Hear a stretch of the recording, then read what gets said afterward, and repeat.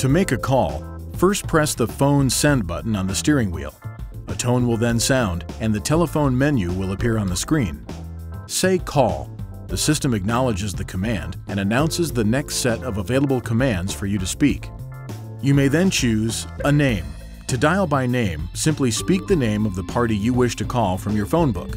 The system will then confirm your selection. Say yes, and the system will dial the party you wish to reach. Phone number. The system will prompt you to speak the number. Say the phone number, and the system will dial it. Redial. Use the redial command to call the last outgoing number dialed. The system acknowledges the command, repeats the number, and begins dialing. Callback.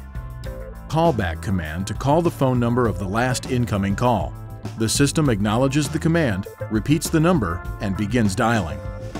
Or Help. The system will announce the available commands. When you're receiving a call, the touchscreen will change to the incoming call mode and you'll hear the phone ring.